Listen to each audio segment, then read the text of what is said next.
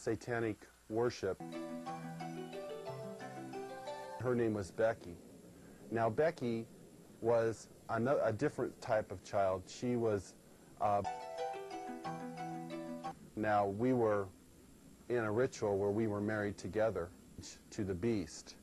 And uh, me and the little girl were married together, and there was a lot of sexual, a lot of blood that was spilt. Put my hand on it, and then he forced it into her. We were drugged once again.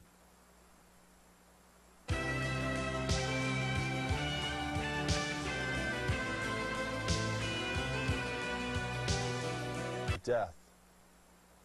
You know, it only serves to bring back horrifying memories to me.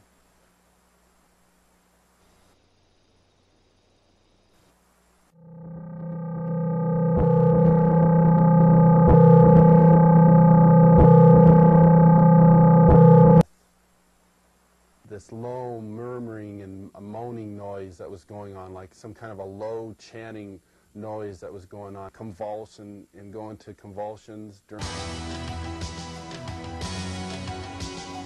kind of a shack where a lot of rituals went on, where a lot of animals were, were killed. Um, they summoned Lucifer and his spirit to come and uh, possess me.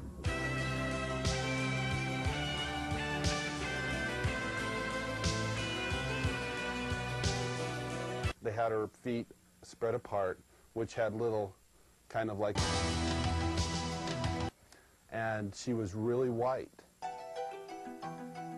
That was the climax event. You know, Halloween parties.